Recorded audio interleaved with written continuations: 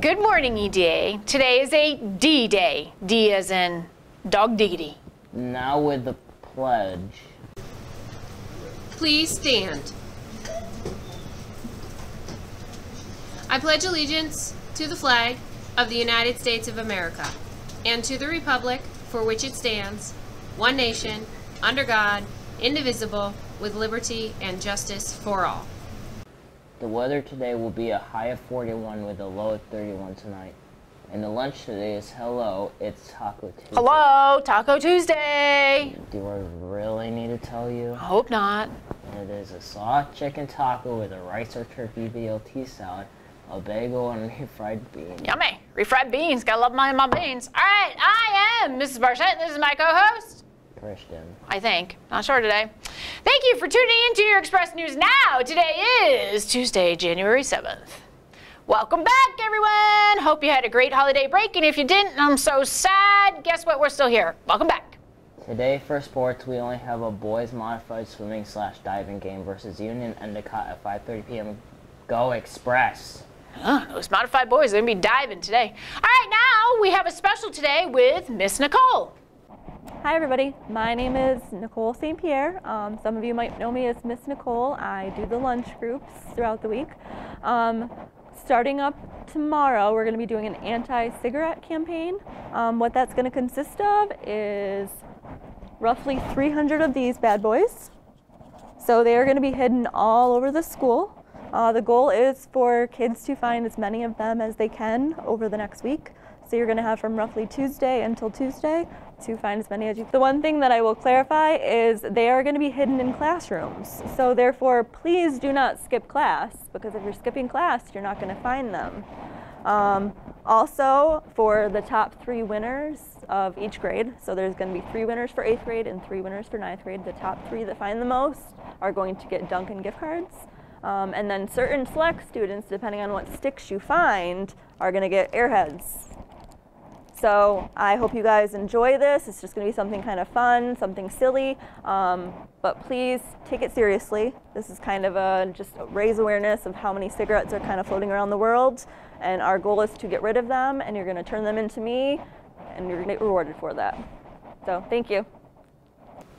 Also, the sticks that have the number 8 on them are for 8th grade students, and sticks with 9 on them are for 9th grader students. Should only turn in the ones from their own grade and you can be disqualified from the contest if you engage in any inappropriate, rude behavior while participating in the scavenger hunt. So did you understand that eighth graders, you're going to be looking for six with eighth grade on it. Ninth grade, you're going to have the nine on it because you're in ninth grade.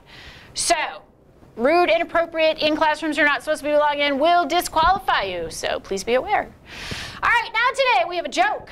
My boss told me to have a good day. So guess what, Christian? I went home. You know, I know a lot of jokes about unemployed people, but none of them work. Ha! You get pranked to hear a double joke. Ha ha ha! Sucks to be you. oh no! Those cringy jokes are back. Ugh, who keeps putting them in there? Oh my lord! Fact of the day! Here's a good one for you. If you thought the joke was cringy, it keeps on rolling. Did you know that a cornflake in the shape of Illinois, you heard me right, like the state Illinois, sold on eBay for $1,350 in 2008?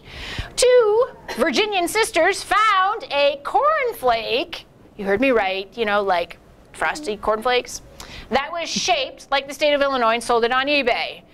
Monty Kerr, the owner of a trivia website from Austin, Texas, bought it for that $1,350. And he explained he wanted it as a special piece of cereal for his traveling museum. You heard me right, traveling museum. No, this is not the 1950s.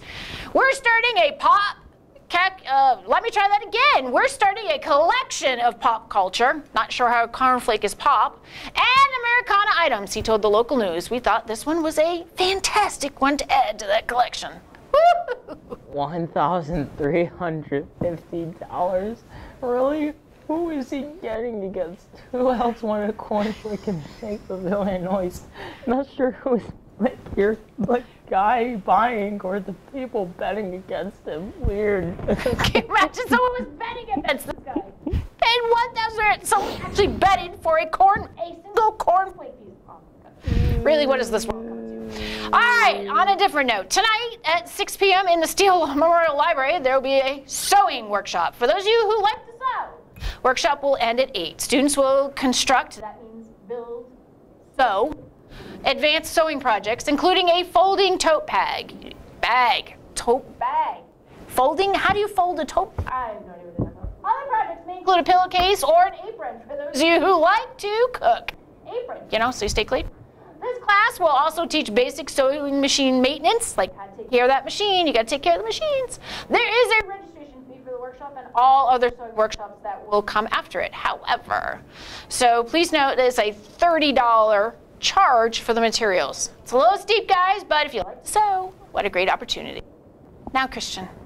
Well, that's all for today. Make sure to tune in tomorrow. And as always, Make, sure, to be like Ernie today. Our, January focus is showing self-discipline. self-discipline. Have a great, Great day, everyone. I had none today.